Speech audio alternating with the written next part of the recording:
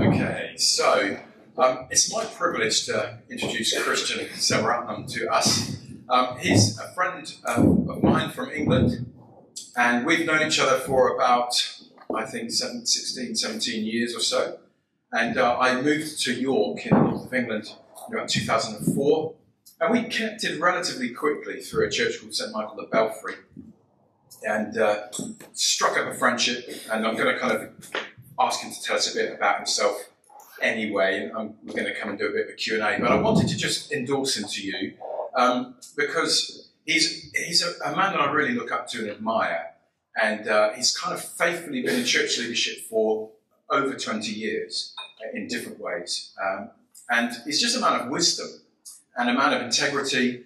And uh, I've often sat with him and been able to really pick his brain over all kinds of issues. Particularly about 15 years ago, I was going through a process of thinking about ordination and tracking with him. I was in a prayer group with Christian and, another vicar, and they were just they were very patient with my questions. We'll put it that way.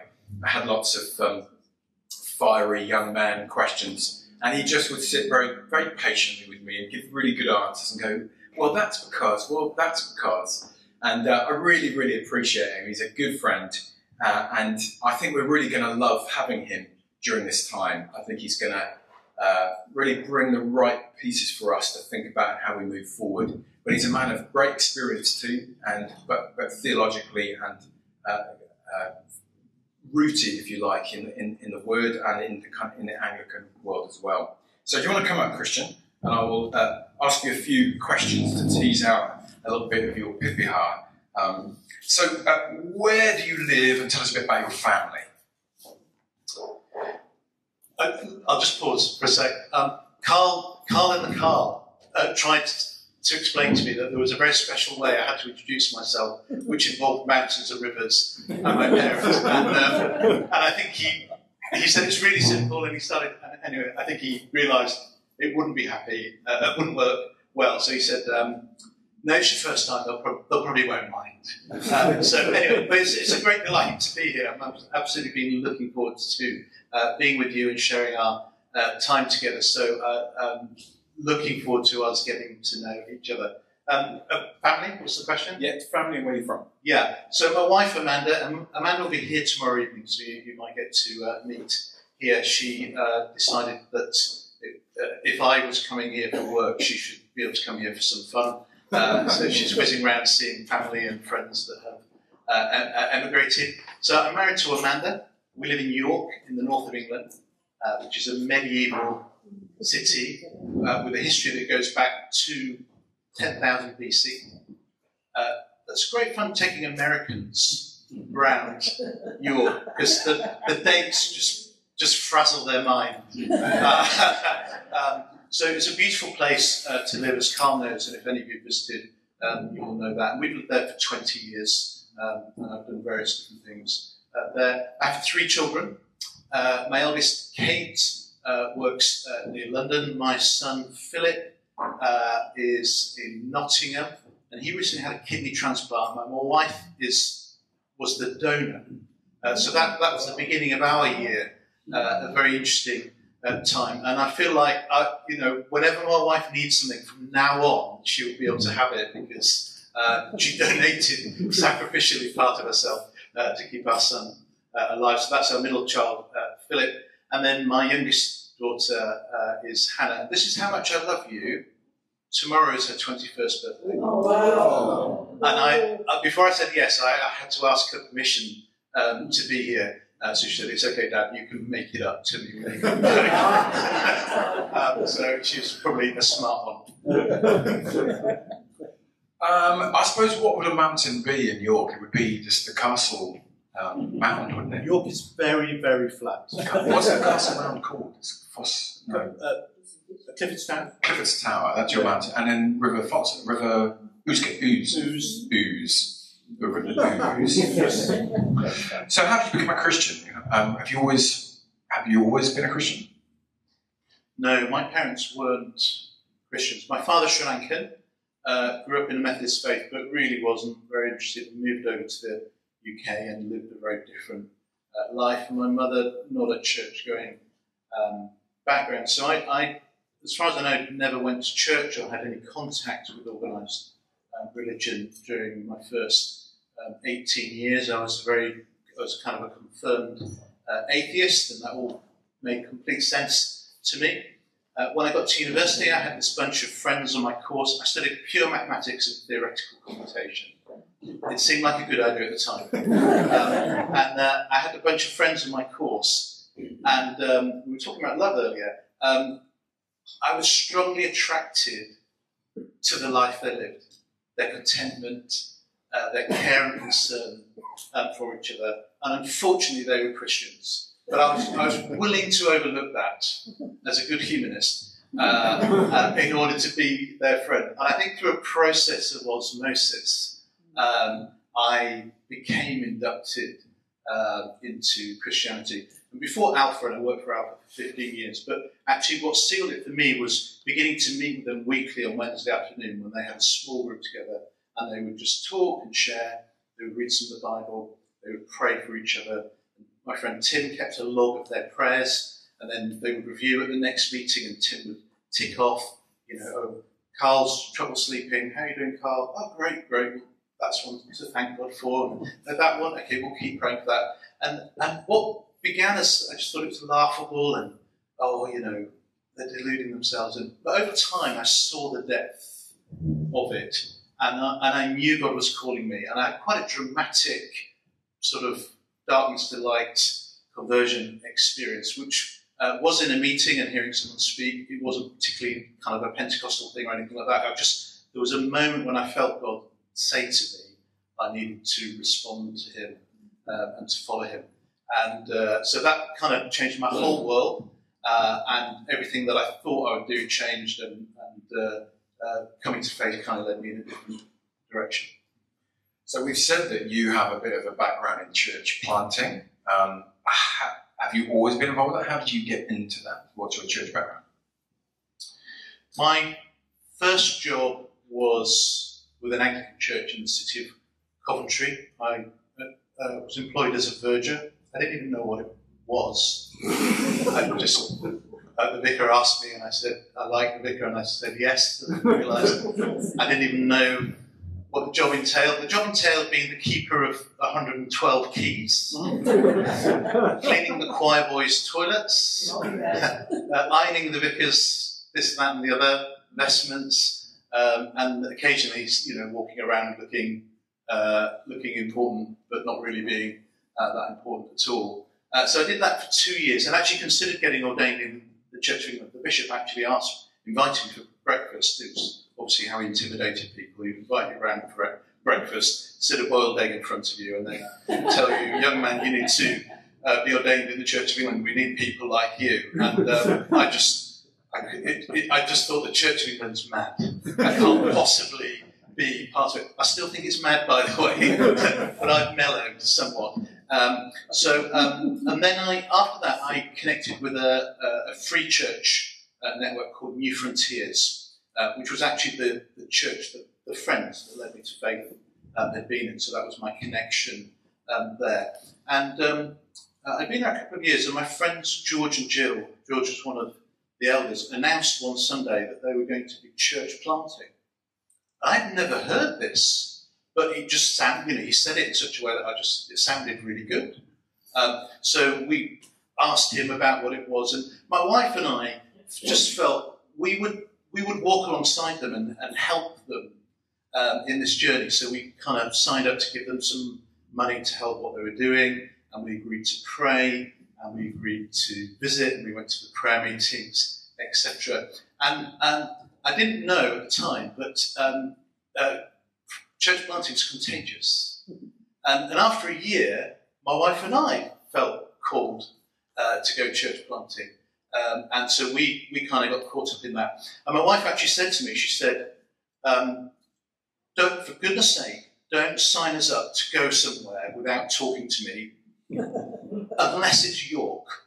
the next day, I was at the leaders' meeting, and they were saying, "Hey, we have got some opportunities for church planting. Various links have come up, Uh, there's one in Manchester, there's one in Durham, and we're looking for somebody from York, for York. Anyone wants to go to York? So I just signed up on the spot. Again, didn't know anything about what I was going to, but my wife had said we could go to York, so I thought, brilliant, we'll go to York. So that was about um, 25 years ago. And since then, I've, I've been pretty much all the time either involved in, uh, in a church plant or in a church uh, that's planting out. And actually, for me, that's become my normal. In fact, I often have to adjust when I'm in contexts where that isn't normal, because to me, it's so normal to be involved in starting a new Christian community or renewing a Christian community in a place or helping people explore that journey for themselves. Do you want to talk, mention G2? Like, what, what was that about? G2, um, would any of you know St Michael of Belfrey Church that got mentioned earlier? Just mentioned David Watson. Yeah. Yeah. yeah. So, so, so Michael of Belfrey was David Watson's church. Um, it's just next to uh, the Minster. There you go. That's well, it's a very bad photo of York Minster. I'll explain it in a minute. Um, uh, so it's it's right at the heart of uh, of York, and um, we were both in that church, I think, at that time.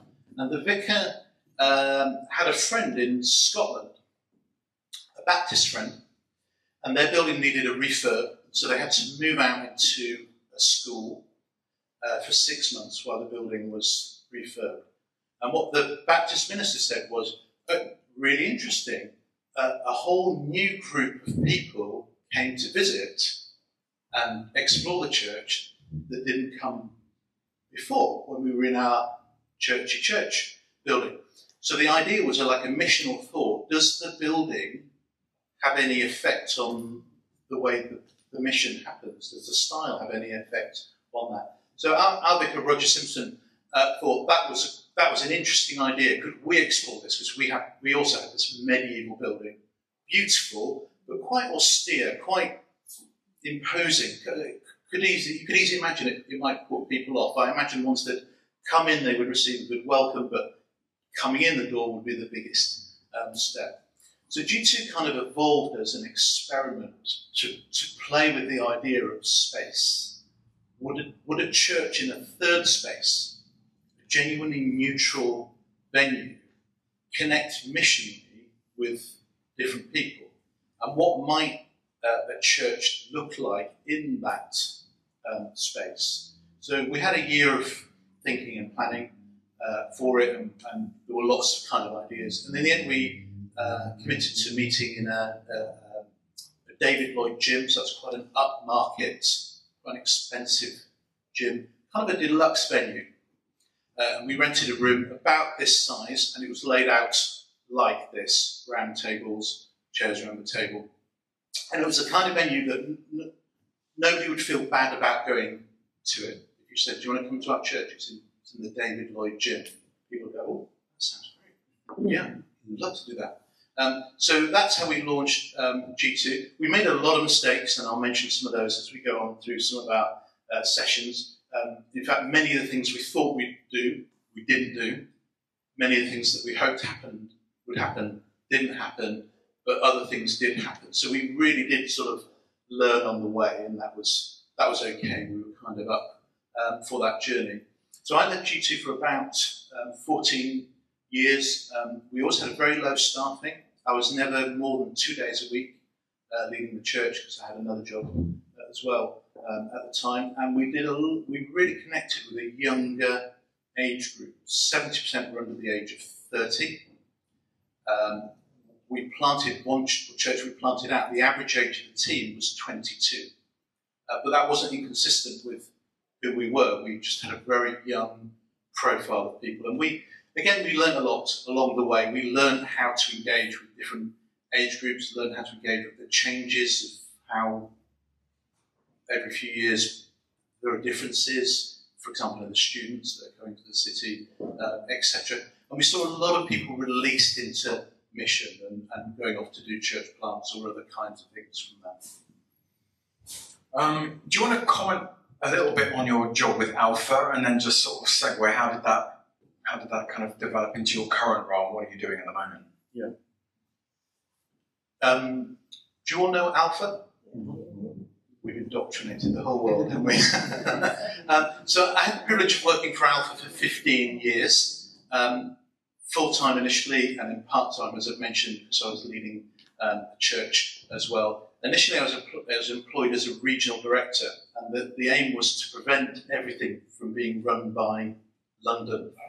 uh, and where we lived in the north, the, the worst thing you could do to someone in the north is have someone from London tell us how it should be done.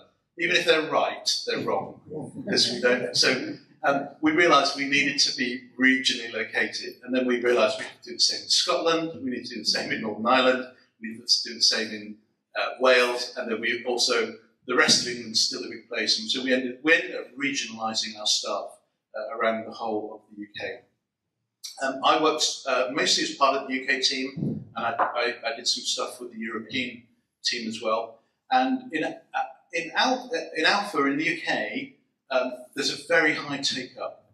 Um, something like a third of the churches run Alpha, so it's, it's kind of a it's kind of a given thing. It's a it's, it's almost a part of normal Christianity that you're running Alpha or if you don't like alpha, you're running something that's similar but is a different one. So that's very, the culture of Christianity in England is very shaped around churches are running inquiry courses that people can come on and there is a structured relational way for them to find out uh, about Jesus.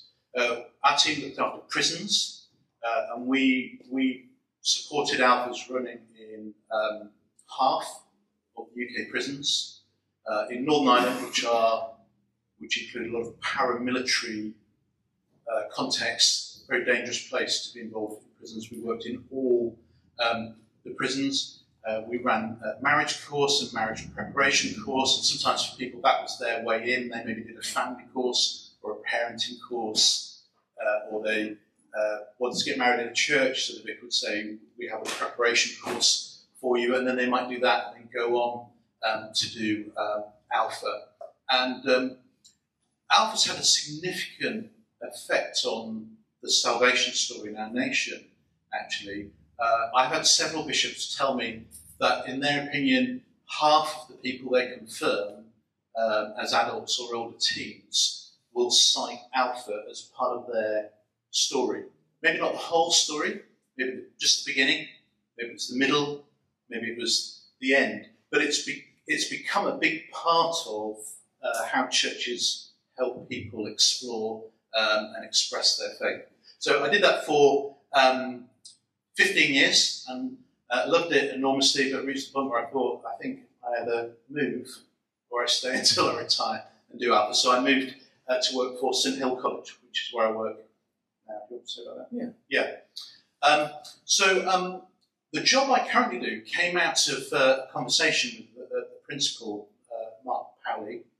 And Mark and I were once at uh, a church planting meeting where there were loads of stories being told, and the day was excellent until the final hour when somebody had a go at saying, This is what I think we should do. And the day was excellent, but that final hour was quite poor. And I remember sitting next to Mark and saying, I hope there's somebody with some better ideas than these. We could do a lot better. And then I, I, I remember saying to him, Do you know what? I think a theological college could make a significant impact in this area. But it was just kind of one of those thoughts where I thought, hey, there you go, there's a present. Just give you a thought. Go off and sort that out. I'll carry on doing the rest of my life. And that came back and, and eventually materialised as an opportunity to work within the college, to springboard out of the college, to see how could we support, encourage, resource, and do anything to assist um, church planting uh, in the north of England, in the region. So some of what I do is internal. We train Anglican and Baptists ordinands. Um, we have programs for those. Uh, we have independent students uh, and ministers who are returning maybe to do a master's, and we have church planting modules that they can uh, do and, and tracks, etc., that they can be part of, so that we can give um, someone who's training to be ordained can receive a theological formation that has a strong sense of intent that they may be primarily involved in starting a new Christian community in some shape or form. And I'll get to this when we talk tomorrow, but that's for us that's increasingly the normal assumption of what ministry will be shaped like um, in the UK for the rest of this decade um, and beyond.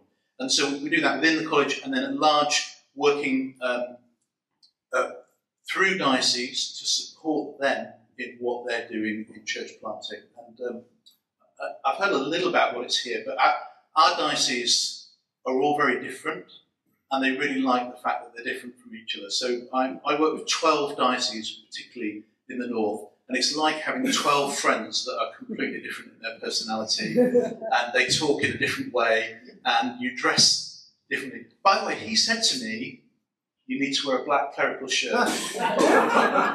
he said they'll expect it. So I packed my black clerical shirt, and then it turns out I'm the only one. I'll press down tomorrow. Um, so we work with different dioceses, and each diocese is, is in effect independent in its own uh, mission, and there is a lot of variety of how it's being worked out um, in different dioceses. But we want we want to support that with training, but not just uh, not just the delivery of practical training, but we want we want to get the full reflective cycle in there because we are not just teaching people to do something, we're also learning at the same time.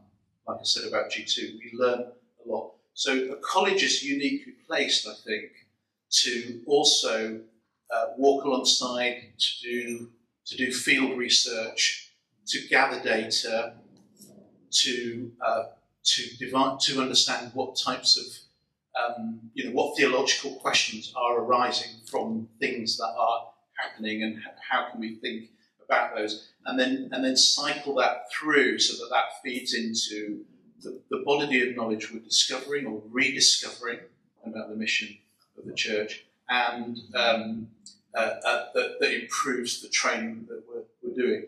And my conviction is we are rediscovering ancient ministry. Uh, that perhaps in that period from the Second World War, we've had a rather static view of our parish in my country, and we're rediscovering some of the more normal wisdom that probably existed in ages past about mission and church and new expressions of church being part of the normal ministry of, of the work um, that we do. So we feel like we're not so much making something up as discovering what those that went before us uh, knew and, and applying it for our day. Okay, I'll stop. I mean, to be fair, you did, and when I met you off the plane, you were wearing that outfit. Yeah, not true. not true, not true. Okay, but he did sleep in it. No, that's not true. Um, I'm going to stop there so that you can kind of give us a bit of an intro to your time. Final question, and I'm going to get out of the way. What, what's your favourite food and, and why? um, my, he knows the answer to this. My favourite food is lamb biryani and the, well, the reason he's thinking of it is because myself and uh, Carl and our friend, the three of us who were in this prayer um, triplet, went away, and Carl cooked for us an amazing lamb uh, biryani. Uh, so, but that is my favourite food. But you only cooked it because it was my favourite food. Yes, it's true. He invited me around for a lamb. And he was very worried that he would cook it in the wrong way. Uh, so we had lots of conversations about how did my family uh, do it. But my father never told me, so I, you know, I was just making up my answers. okay, uh, we've got till five. Let's see how we go. Um, I'm slightly nervous that I don't know you. Oh yes, sorry. Um, so part of my um, task, you know, today and as, as, we unfold, is to listen really carefully uh, to you and your story because uh, I really want to scratch where you're itching. Uh, I don't want to just come in and say, hey, this is what I want to say. So I'm really happy to adjust on the fly. So do, do give me feedback and tell me, you know, what, what is it you want to hear more about. So I have a plan, we can adjust the plan to suit what you would most want to hear. Uh, second, um, we've got lots of breaks and in-betweens, and so I'm, I'm here, I'm present for all of this. I, I would love to chat. Uh, I would love to hear about what you're uh, doing. That helps me. That that enriches me. And if you if if you wanted to ask me questions, you want to do that one to one or a small group, then um, I would love to do that. I'm available um, to do that. My big disclaimer is that um, I know my context really well. Forgive me if my illustrations are inevitably England centric.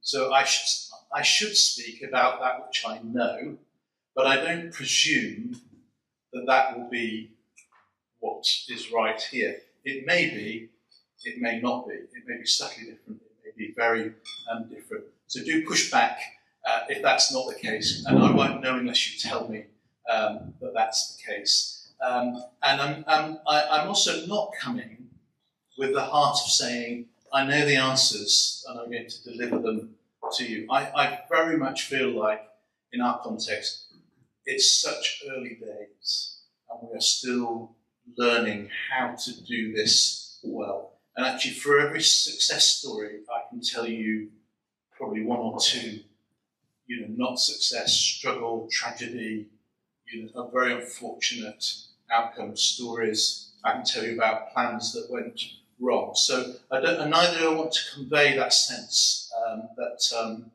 it's all going well with us. Uh, there is a reality to ministry, and particularly when we do pioneering things, that we need to be quite resilient in the way that we walk, uh, willing to accept failure as a way of learning, uh, willing to take chances, uh, able to measure the risk of things that we do. And also, I find learning to be flexible and to adapt. And we are living in an age when there's never been a greater flux of culture, as, as we heard uh, Nigel explaining earlier. Uh, that, that, that shift of culture is in very high flux um, at the moment. And here, as well as where I am, um, COVID will have thrown everything up in the air. We still don't really know quite what church post COVID looks like because it's still settling uh, after the storm, after the upset. So those are my uh, all my disclaimers. And you'll meet my wife tomorrow, and then you'll like me a bit more when you meet her. So, anyways, um, the picture on the screen is the view from my office. Uh, I said it was a medieval city. Um, my office is built over where it's thought Constantine the Great lived. Uh, he was uh, crowned emperor of the Roman Empire in 327 AD, and it's thought that statue over in the corner is where he was um, crowned. We can't really know for certain, but it's um, thought. So, um, you know, that just gives you a sense of you know, where I am during the week and the view um, that I have. Um, and that's York Minster uh, off at the side there. I've said a bit about St Hild um, College. So this is my current passion to, to generate a useful resource for church planting at the heart of a, of a theological college. And primarily we are preparing uh, ministers for ministry in the church.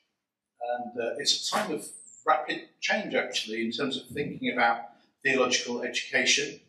We recognise we've had patterns that are very weighted towards uh, academic process, uh, assumptions that if you write good essays, you'll be a good minister, that kind of um, assumed thinking that lurks behind being a college. Um, especially if you sort of aspire to be a really good college, then actually you sort of champion the students that get the really, you know, you, that's where your gravity kind of goes. Your results are published and you want your percentages to be going higher.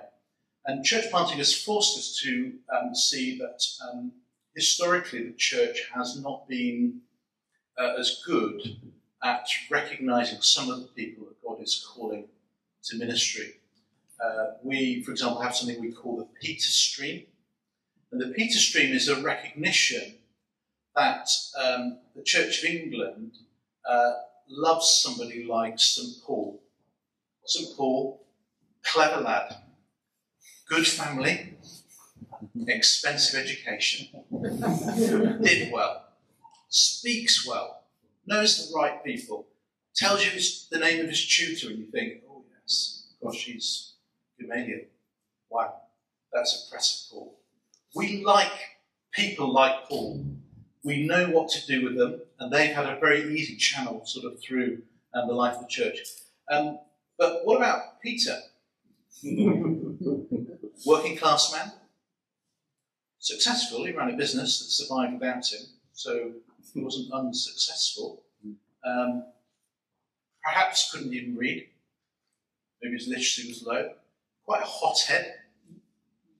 Probably not looking to go to college and learn ancient languages or anything uh, like that. And yet, Jesus gives Peter the keys to the kingdom of heaven and commissions him uh, to take the church forward. Uh, so there is some redressing taking place at the moment where we're recognizing actually we, are, we have shown historically bias um, against people who might be being called um, to the ministry uh, of the church. And, and the work I do particularly seems to touch that. And particularly in church planting, we'll get into this tomorrow, but in, in church planting, it's, it's not just about uh, the, the knowledge that you've gained, it's also about something of the practitioner skills that you've developed and nurtured. And that there is an essential combination that's necessary there. And that, for example, that means that people that are going to be trained to church planting, it, it would be really important for them to have had some evidentiary experience of that before we train into that to then deploy them out to do that. Because there's something of a pioneer inclination, mindset, aptitude that's essential to make um, that work. So we're, we're, working in that. So I mentioned that uh, even this morning I was sending some emails about our Peter stream and how we would change some things and some names of candidates and um, uh, how we adjust to that and how we make the system work um, for them. Um, uh, yeah, I won't say more about it. Um, I've just recorded uh, a series which you'll be able to get here if you wanted, um, called Exploring Church Planting, a film series, five sessions. And we produced this because we recognise that um, we want to encourage churches to explore if they might do some church planting. And to do that, we need some kind of method where uh, a minister can, can can take their whole church through some kind of primer, you know, just, just to cover the basics. So this is a very basic five-part series that covers the basics and also gives lots of different examples so that people who, who might think, church planting, yes, I know what that is, they can hear four or five other examples that might be very different so they can see the huge variety of and flavour of uh, what's um, uh, what's happening uh, in church planting, and then hopefully um, takes the, the church and the congregation to the point where they can actually um, work out, okay, what might we be doing next in our context? So I feel like I'm signing you up for things, but I'm not trying to sell you anything. Mm-hmm. Um, uh, I'm also working on this project called Seedbed. Does anyone know where the word seedbed comes from? in 1534, in the Counter Reformation, the Catholic Church met in synod. And they concluded that their theological preparation was not sufficient to the mission that was in front of them. And they decreed, and at the time, education happened in each church, and I imagine it varied a lot.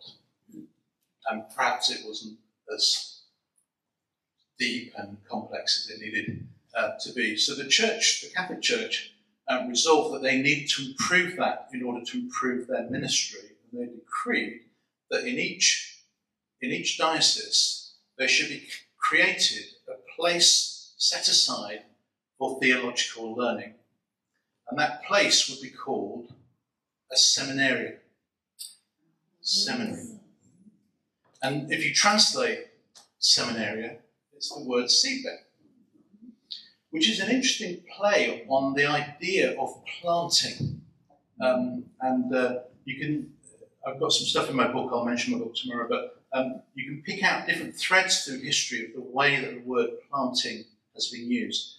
But I think the Council of Trent were in effect saying, we want to plumb people in rich soil, in a community of learning and formation, in order to grow them to be ready for the task that was ahead. So we've, we've shamelessly stolen that word um, because we want to create a program um, for training, and this our program will be for lay people. Um, the Church of England has made a, a, significant commitment to church planting. Um, the commitment is to plant 10,000 new Christian communities in the next decade. I don't know if we'll do it, but anyway, we're going to have a go and see what we can do with that. But any logic, any thinking through that tells us that we must utilize lay people in the church to play their part in it. I mean, just practically, it takes, what, seven to nine years to, to train and deploy a priest from beginning to end. It costs a certain amount of money. There are cheaper ways and more expensive ways, but however you add it up, if you multiply that by 10,000, you get to enormous amounts of money that we don't have. And yet, the wisdom of history and of many other nations is that what we're talking about, church planting, new Christian communities, doing mission through the church, is, is often the work of ordinary people who do it just as part of their baptized Christianity, that it's something that they're uh, called to. So we want to invest in that, and we try to devise um, a program of training that can run for one year, that's accessible, has combinations of online and, and, and meeting up, but the kind of thing you can, you can squeeze into a, a job, and that's the practical uh, challenge. And that will give them uh, not, not everything you might want to cover theologically to prepare somebody, but would give them a theological and formational journey that should help them to make the next steps um, in doing that. And then some follow on years through learning communities and support groups. And the second part that we've identified is um, we also need to work with the evangelists. Evangelist is a very broad word, I think. It covers a very wide range of um, uh, types of engagement. It includes Billy Grahams, who wants to stand on the stage and preach. It, it's people who like to gossip their faith, as we were being encouraged earlier. How would you speak about this? Uh, people who would share that with their neighbour over the fence or a person um, at the bus stop. It includes the person who's good at explaining things. It's, it includes the person on Alpha who's just a magnificent host on Alpha. And actually, the main job of a small group leader on Alpha is to not say too much, but to let people talk and chat about the gospel and see where that gets them. It includes the old ladies that are praying for people on a prayer list uh, and everyone else. So it even includes people that wouldn't be comfortable with the word evangelist. And we're convinced that evangelists are uh, key to not the church and to church planting. That we don't want to presume that if we start a new Christian community or we plant a church, it will automatically grow. Experience over the recent decades is that church plants do grow, but we're also seeing a diminishing return. And there is a presumption that um, something something that people might come to, people do come to. Um, we are finding evangelism is getting harder. In fact, I've got a friend that's done some research that says in England, the further north you go, the harder it is. He does live in Newcastle, in, you know, nearly the northmost point of, of England, so I'm not surprised he holds that uh, opinion. But it's, it's probably something like that. We've observed that, that evangelism is becoming uh, harder and less people are looking for a church or even open to an invitation. So we need to be active rather than just passive. You are welcome if you want to come. We need to be active, as Jesus said, you go out to the highways and the byways, and you call people to come in. So um, seedbed is something uh, we're working on as well. We want to mobilise the whole church, not just clergy, not just people who are employed to work in churches, but people who have everyday regular jobs who can also play their part in this. Um, and last, I have written a few books. Uh, the one on the left is, is not as big as it looks. It's a short little booklet I did while I was at Alpha, um, and I can email that to you. It's free, it's just a PDF. Um, the book in the middle is, is the result of my doctoral uh, studies, and I, I looked at um, medieval craft. Have you heard of the craft guilds? So in Europe, for about 700 years, the craft guilds were trained. Every, everyone was trained in a guild for about 700 years, and they did their work through that. It was like a trade union and a college sort of rolled into uh, one, and it was it was about on-the-job training. Was about learning in the workshop, and it was about being apprenticed, and it was about going on wandering years to discover new skills, and it was about demonstrating mastery through uh, evidence, of your learning. Um, and so I, felt we'd been doing some apprenticeship in our church, uh, particularly with younger leaders, and I wanted to explore that. So that's what I did my doctorate on, and then I rewrote material um, for a book. I have brought some with me, and I'll, I can let you have it at cost price, which would be twenty-five dollars. I'm told is that's not too expensive. Okay, you give me more if you want. 25 is, is basically what I paid to get it. So, um, and I'd rather not take them back to England. So, um, do buy one if, uh, if you're interested um, in those. I, I don't know if I can do an electronic money.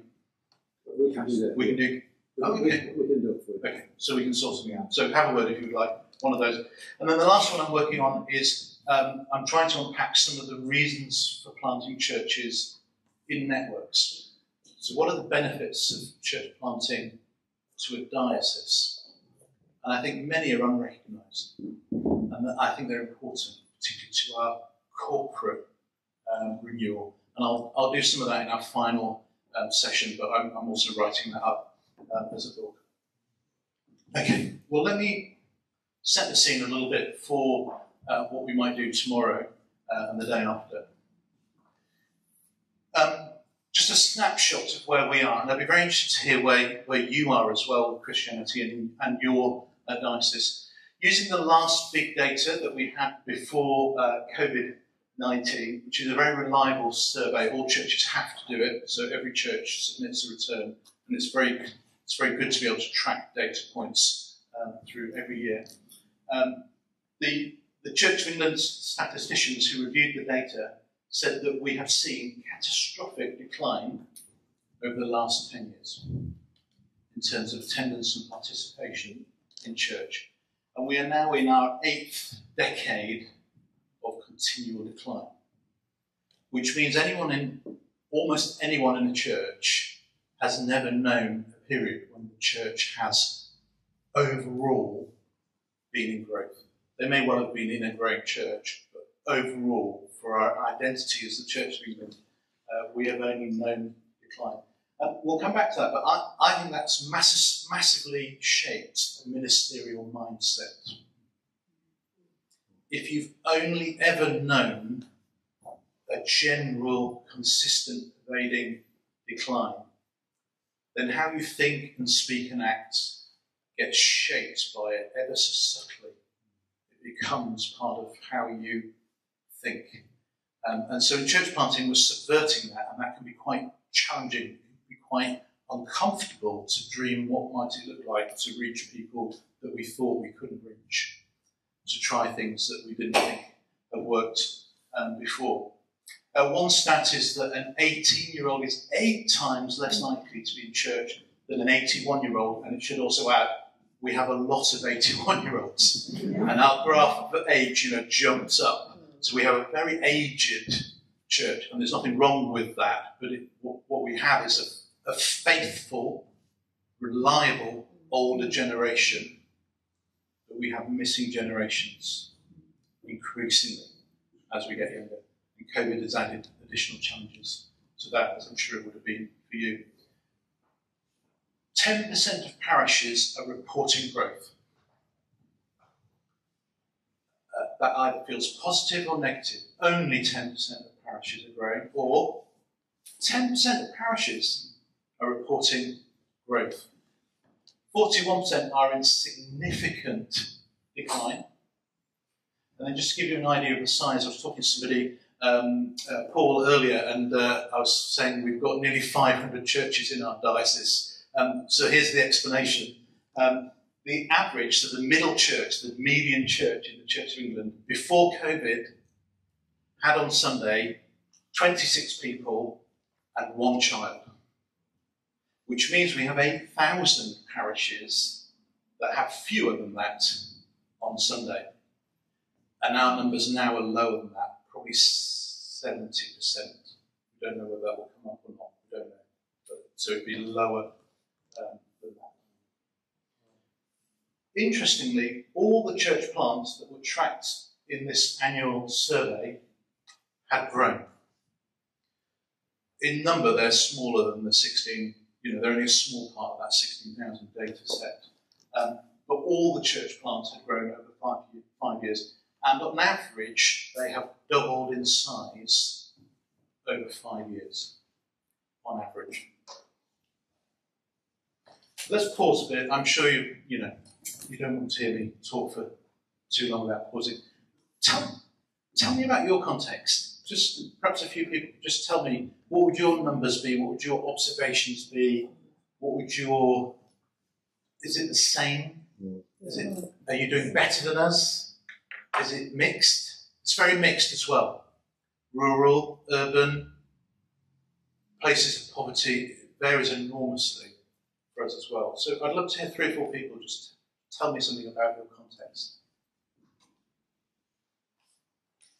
Christian, a few years ago when we had a similar gathering, we invited Peter Lineham, who's a, a retired professor of history, who's got a real interest in church history and, and demographics, to spend some time with us. And I, I think those of us who were here, who were here, wouldn't be at all surprised to read the first sort of half of those statistics.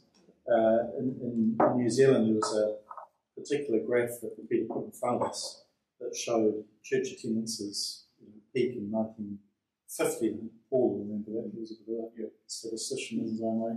It was about 1950, wasn't it? 1950? 1963. 1963, there we go. So we also are in our eighth decade of the decline. And it's been a, just a steady decline since the Our starting point is also much lower. So New Zealand has never been a big church going country. What percent?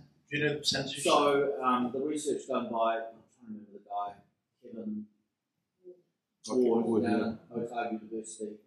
In 1960, he says, I think we cracked 20% for the attending church. Um, just say that again, sorry. 20% Okay. was church attendance, that's 80% didn't. I mean, everyone was kind of belonged to a church, but only went for Yeah. patch, match, and dispatch. Um, I mean, I, when I was in Scouts, you had to say what your religious affiliation was, and if you didn't know you were Church of England, which Yeah. was weird because there was no Church of England in New Zealand. has always been the Church of New Zealand, so, so that's how out of date people were. Um, so our, our, I mean, New Zealand was a place where people came to get away from church often. So the kind of wealthy and middle class might have gone to church, but a lot of people came out here and not interested at all. Thank you very much. I'll go when I have to, but particularly men. Yeah. Interesting. Just while you say that, our, our numbers, uh, just under 8% before COVID of the population attended a church of any denomination, and the Church of England's part of that was just under 2%, um, but it varies enormously. So, not far from me in Bradford, um, church attendance is 0.2% uh, of the population. Uh, so, that type of fluctuation is not, not uncommon at all. Let's hear a few more. I was just going to say, to place some historical context, that figure of 20% that um, John cited, my recollection is that actually goes back to the beginning of the 20th century. The, the beginning of the 20th century was only seen 20%, so that gives you a historical context for Aotearoa New Zealand.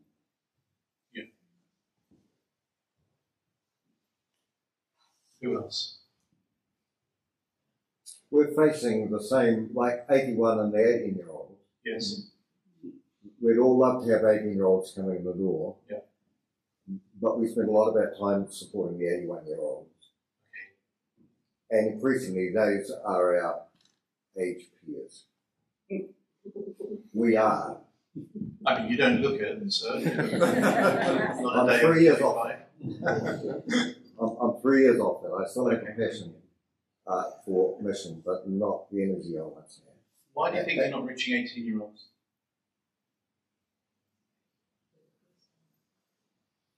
Um, there's a huge cultural gap. Yeah. I, I don't say I don't reach any 18 year olds, but I say that for my, my perception for most of us now involvement in the church here, we, we feel the burden of looking after the 81 year olds while we wonder about how we could spend more time and energy with the 18 year olds. Yeah. Because that's where, that's where it's life giving for us. Yeah. As well. But that's that, what we face is that, that not just the congregation we feel our first duty is to minister to, the people that are coming in the door are old, we are also aging. So the ministers are, are aging, and that, that's my perception of the big one. Yeah. Of how do we change ourselves to be missional towards aging? And there's a theory we reach roughly within 10 years of our own age, give or take. Some people are younger at heart maybe have stretched a bit further, but there's a limit to our primary ability to reach as individuals. We can work with others in teams to, to, uh, to change that. Um, it, But we, we also know we're going to be gone in 10 years. okay. If, we, if, that's, if that's us. Yeah. It's all, Yeah, well, it was all very well for Abraham being called at the age of 75, but you know, most of us that we're long feeling like we're retired by that. I'll say this and then I saw your hand, I'll come to you next. Um, uh, at the church I led you to, very young, 70% under the age of 30, um, can you guess what the most common request I got from people in their 20s was? To do with older people. Can you find me a retired person to mentor me? They craved it they were they were they saw the, the limits of just hanging around with everyone else who's 21 who also doesn't know anything and just pooling their anxiety and their frustration and they intuitively felt that in an older person the wisdom of life would have been seasoned not not as not not as not meaning a successful old person but as in a person that's old has been through life and will be able to help me build my foundation and direction forward. So I, I we have the same situation, obviously, but I, I feel there's something really interesting if only we can bring that together, that the young need the old and the old need the young. Uh, and that, that, that should be what we feel in church, I'm sure. There's a lady at the back. I think it's worth noting that it's not just the church that's declining, but also organisations like Rotary, Guns, Yes.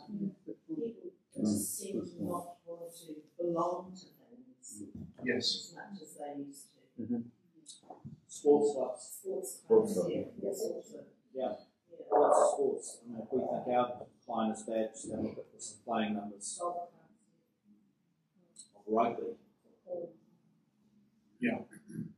Is that important here, rugby? Yes. Yeah, okay. okay. So at the airport, I wandered into the All Black shop. I thought, hey, I'll get a shirt. Then I realised it was beyond my budget. It's important for some, let's be clear about yeah. it. Football's football's great. Others are summer sports freaks. Yes, yeah. We've got a few more minutes, so I won't move on. We'll, we'll save the rest for, for the next session. Let's hear a few more comments. I think it's very helpful. Um, I'm a school chaplain, so I do work with that um, group of, Yeah. of younger people. But um, what I think a big issue, well, an issue, and that's sort of kind of what we've been talking about, is the secularisation of our society. Yeah. I think it is um, over the last 10, 15, 20 years. Um, that it is, smart- yeah, probably not more. General secular, secularisation of society, and so they actually don't have um, they, they don't have those stories that we were talking about before. So you don't have the big stories, and um, it doesn't mean there's not a need for that. They just don't have that to access that, yeah, those, there's a need for it. Do you have thoughts about how you adapt to that? I'm sure you do have thoughts. by giving big stories Okay. and storytelling, Yeah. and, encouraging them, telling them about um, that there is there is something other than um, that, that they know or that their families known, and it's Yeah. yeah more to more to life there. And and there's a big um, and that there's a big need. Uh, and there's something about being community and however we work together as a community. Yeah. It's important for their well-being for all of us really as a community. And we, uh, previous generations did not have to contend with the proliferation of digital media. Uh, if you have an 18 year old for an hour a week, then YouTube has them for who knows, 20 hours plus. So that, that's a different ballgame, isn't it, in terms of uh, who is discipling their minds and their hearts. A couple more comments. I think um, one of the other things that I think of is we've, as church, we've done a little bit of a disservice ourselves in terms of our, for want of another word, our branding. Because the voices that are heard in the public square that come from the church are often from the people on the extremes. Yeah.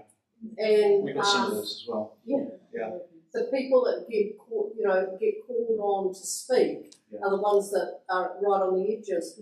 We, we don't, we, I don't know, maybe it's an Anglican thing that we travel and we sort of like to hold all, um, all the voices, but it's very rare that we actually get out in the public square and say, the church thinks, or the Anglican church, or the diocese thinks this. Um, and, and I do wonder if that what we're seeing in media is is so distant from what actually is happening in many churches that and And and I've noticed on our TV, whenever there is a Christian in a, s- in a drama, they, they're, they're usually a hypocrite or a terrorist. yeah, Um, yeah. which is an unhelpful association, I feel. All they refer to is Midsomer Murders. Yeah, yeah, You yeah. yeah. Yeah, there was a lady there.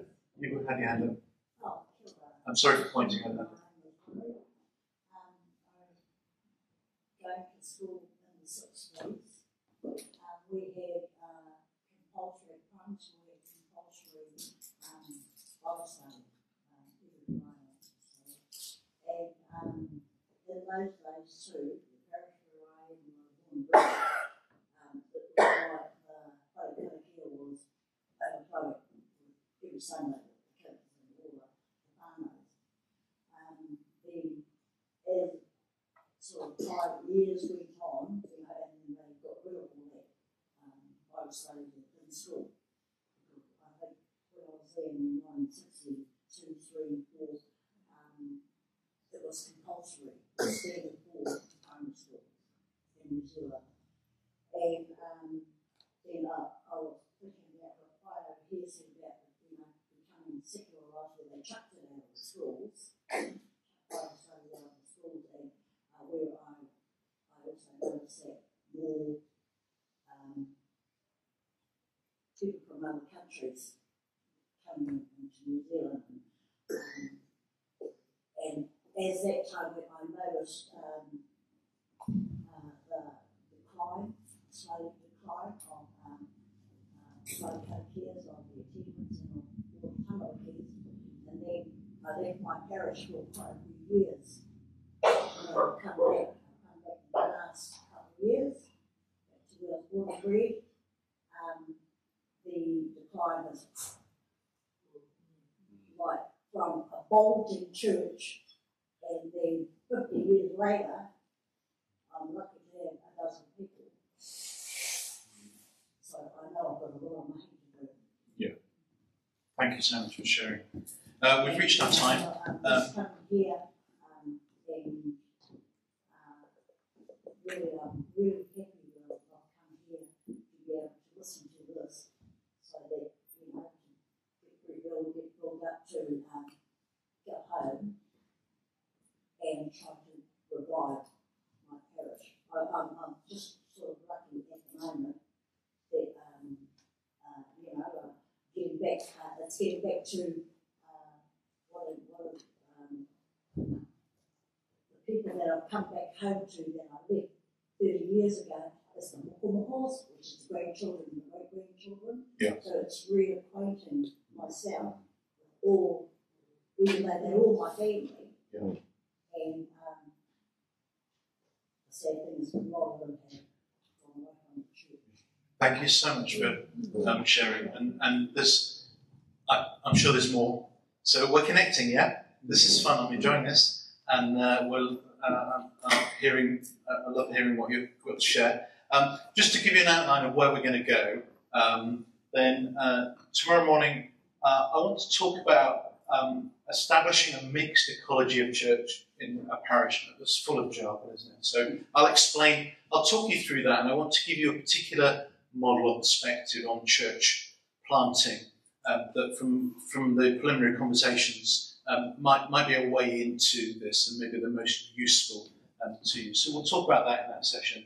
Um, then, then in the afternoon session, we'll talk about the leaders, and I've already highlighted, you know, how, how do we mobilize people to be involved in that? So I want to pick, pick out some of that, some of the uh, some of the ways we might do that, some of the challenges, some of the things we need to be really attentive to, and what is our role in doing that? I don't want to make put a burden on you that you now need to go away and lead ten churches or three. You know, uh, I want to talk about how we can be overseers and releasers and how we can do that really well. So we'll talk about that. And then in the final session, I want to maybe just throw out the big picture. We'll, we'll talk about some of the costs of being involved in any form of pioneering ministry and that we ought to weigh, uh, and the cost for those that others that draw into that, um, but also some of the opportunities.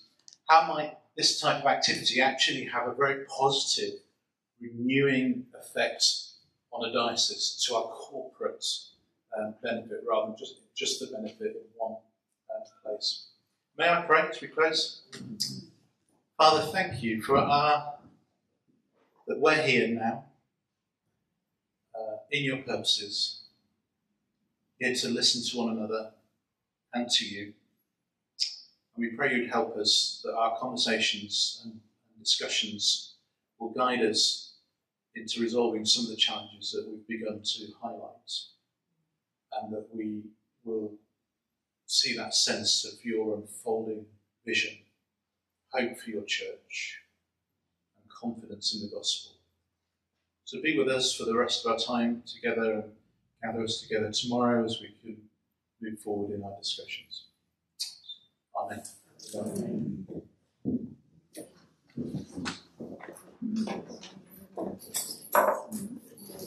Let me just talk us through the next wee while. Um, there's a useful app at this point for anyone who needs to go check into a motel um, to go and to do that.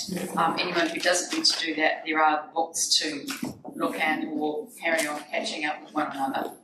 Um, that wonderful Anglican moment known as Pre-Din Franks will be on at about 5.30 leading into dinner at 6. After dinner, there'll be some slightly more structured networking. We'll be out in the foyer and there's, you you know, those little tables. Well, we've got some um, questions and conversation starters and things to kind of to think about um, along the lines that Bishop Andrew was doing with us earlier on, but some slightly different ones as well, and some things which might make us laugh. So that will be after dinner. Tomorrow we can be back here for breakfast at 8. This allows people to avoid the peak hour traffic um, coming not from Tauranga. I know that Tauranga has traffic, and getting here by 8 we can avoid most of that. Um, then there'll be morning worship and uh, Bible study, which Alan Burnett is going to be taking the Bible studies for tomorrow and the next day. And then, of course, after that, there'll be this clever 10 minute window while people migrate into here, um, using the restrooms on the way or just moving around as we need to. Um, and then we'll be back with you, Christian, tomorrow morning for um, the local establishing a mixed ecology. So, here we go motels, books, whatever we feel like doing, walking around outside if we need to stretch our legs.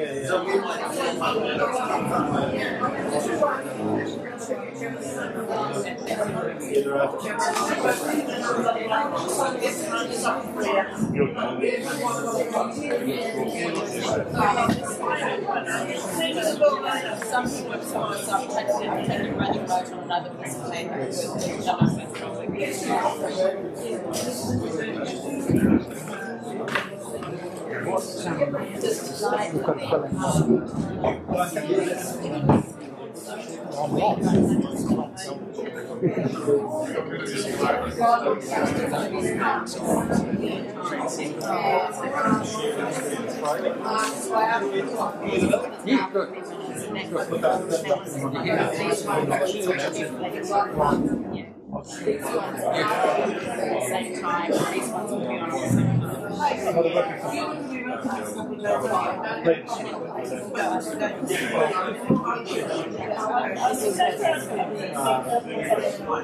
yeah, yeah. Keep writing and then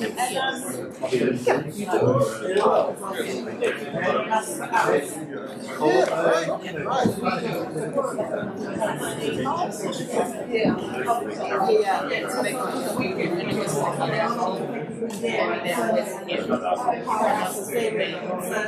it's a big one. And it was like,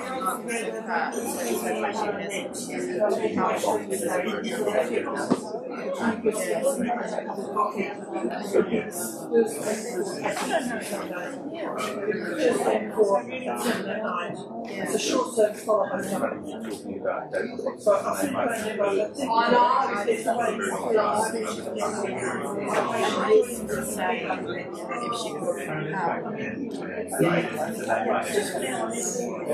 I I